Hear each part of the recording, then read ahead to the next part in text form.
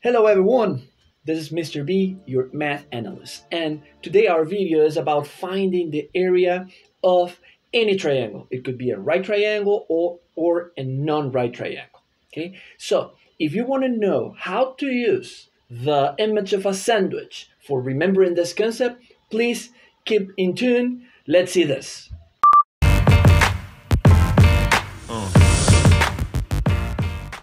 So, as I mentioned it in the introduction of this video, we're going to learn how to find the area. But before anything, I want to say something. I want to say that we are recording this video in November, which is the month where my country, Panama, celebrates uh, its birthday.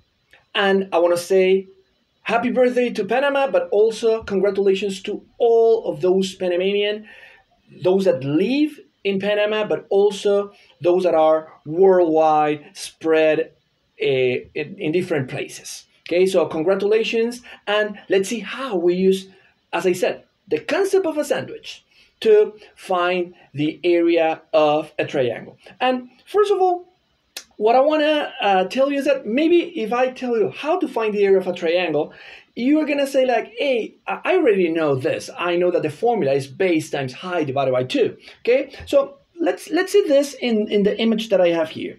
So we can use that formula that you already know, base times height divided by 2, when the height is clearly given, as you can see in this triangle. Okay, but what happens when we have a non-right triangle or when the height of the triangle is not clearly given. So what I'm talking about is something like this, okay? What happens when we have something like this, okay? Uh, suppose that we have an angle here of 25 degrees. We have here, uh, let's suppose that this side is um, 15, this is 11, and this is 9. So, notice that this triangle that I have drawn here, first of all, it is not a right triangle, it's a non-right triangle, okay? So we don't have the height Okay, we can use any side as a base, but we don't have the height. So what happens when we have this uh, type of triangle? Well, first of all, in this case, we need to think about a sandwich. What do you mean with a sandwich? Mr. B, what are you talking about? Okay, a sandwich, what I call a sandwich, is the following idea.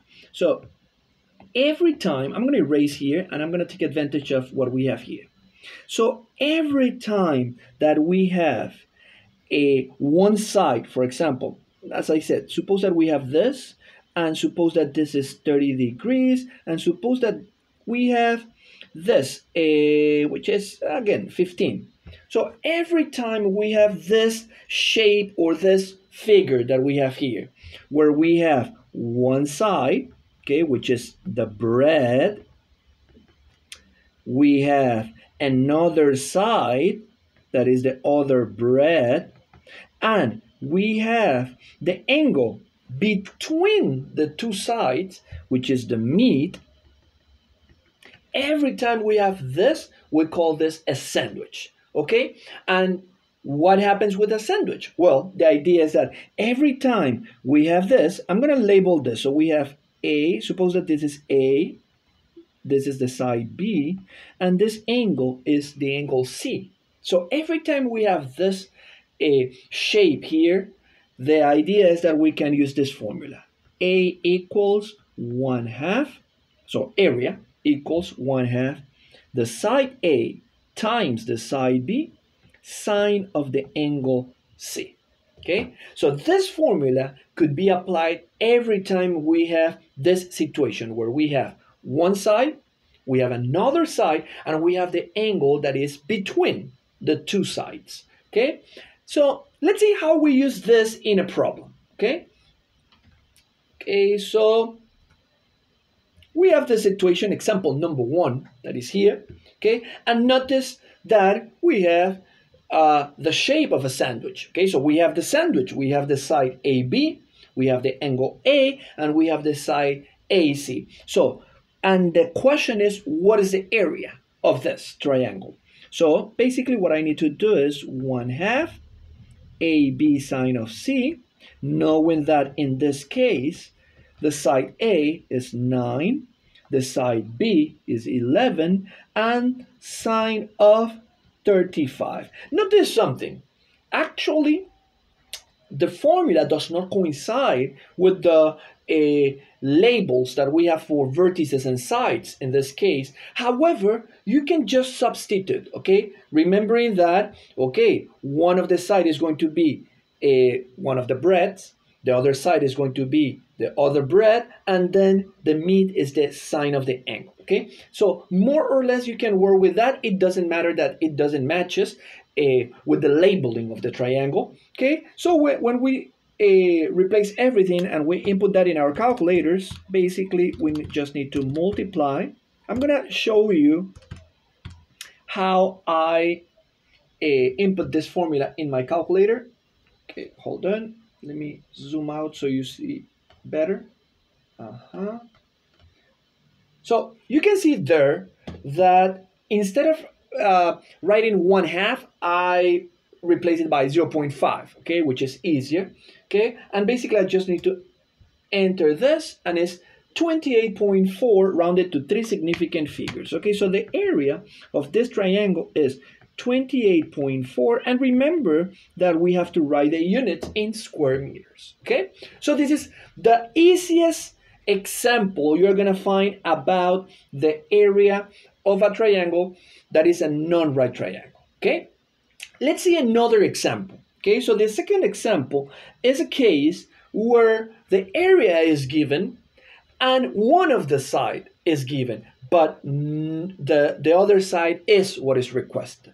Okay, uh, so uh, the idea, as you can see here in the triangle is, uh, let me write the area. I haven't written it. So the area of this triangle is 69 square centimeters. And as you can see, we have the angle 74, we have 27, but we do not have the side AB, and that is what the question is. The question is, what is the side AB? Okay? So, due to the fact that this problem is about area, I'm going to use the formula of area because the context of the problem is leading me to work with area.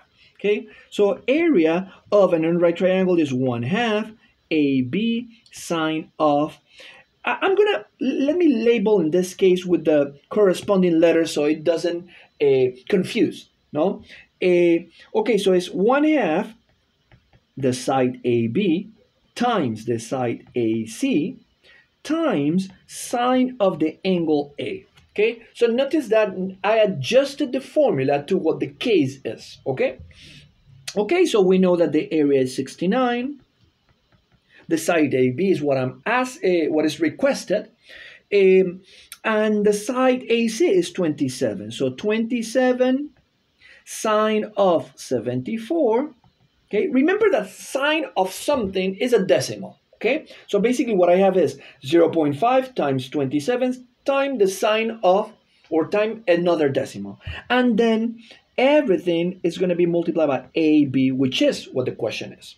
Okay, so be careful when you are uh, solving this formula for this. Remember that this 2 that is here, it is dividing, so it passing doing the opposite. Okay, the opposite of dividing or division is the multiplication. So this 69 is going to be multiplied by 2.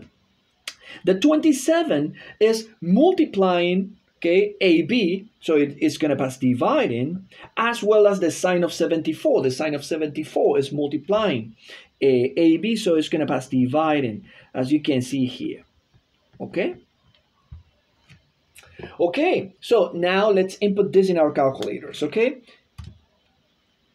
So here, let me put the calculator here. So I need to uh, input 69 times 2. And notice that I'm using parentheses before the 69 and after the, the 2. Why? Because the calculator needs to know that all that 69 times 2 is the numerator of our fraction. Okay? Now we're gonna let the calculator know what the denominator is. So that I'm gonna, again, open parentheses and close parentheses. 27 sine of 74, okay? And notice that again, I'm closing parentheses, okay, after the 74, okay? Uh, be careful that your calculator is in degrees, okay? So should be shown here. Okay, now I'm gonna press enter, and as you can see, the answer is 5.32. Okay, so AB equals 5.32, and this is in centimeters. Okay, so this is another example. In terms of level of difficulty, I will say that this is medium level. So the area is given, and one of the sides is given, so we need to find the other side. Okay, let's go to the last example of uh, today. And remember that for this example, what you're gonna do is you're gonna see it, okay? It is a quadrilateral, okay? And I'm gonna read it, okay? And then you're gonna pause the video, try to solve it, and then you're gonna play the video and you're gonna check uh, the answer with mine. Okay, so the problem says the following. A land surveyor is asked to find the area of a piece of land. They walked around the land and made the following sketch, including the length of the sides and the angles of the quadrilateral. So you're supposed to be seeing the quadrilateral here. Okay, uh, there you have the measure of the different angles and the different sides. And the question is, what is the area of this quadrilateral? So please pause the video and let's see the answer of this problem.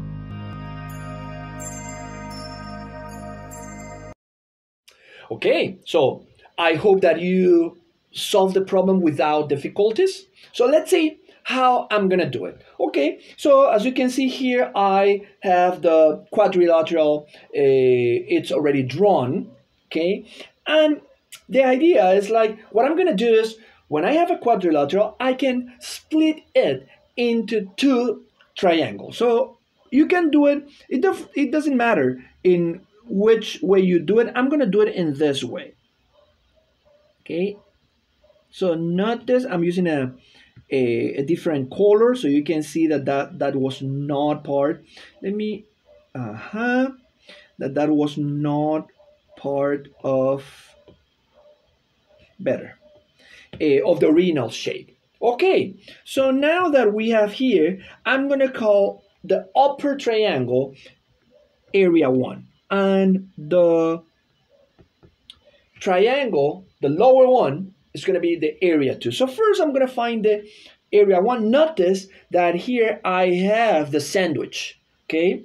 So for area 1, what I need to do is 1 half 44.7 times 63.2 sine of 98. So basically, uh, let me highlight this is the sandwich I'm working with. Okay, as you can see here. Okay, so when I input that in my calculator, I'm gonna, let me move this so we can have the area. I'm gonna also, so I'm gonna write the equal here to find the area. So when we input that in our, cal our calculators is 0.5 times 44.7 times 63.2 sine of 98. Okay, so this is 1398.77. Okay, for area 2, okay, so for area 2, I'm gonna be, let me change the color. I'm gonna be using this sandwich that you can see here. Okay, so this is the sandwich I'm gonna be working with. Okay, so area 2 is going to be 1 half 60.8 36.1 sine of 114 okay so 0.5 times 60.8 times 36.1 sine of 114 this is a thousand and two point fifty six okay? And now we need to add them. Just remember something before moving on. Uh, remember not to round until the very end okay? So until the very last answer there is where we round to three significant figures, okay? Meanwhile, we have to work with the uh, maximum amount of decimals that we have.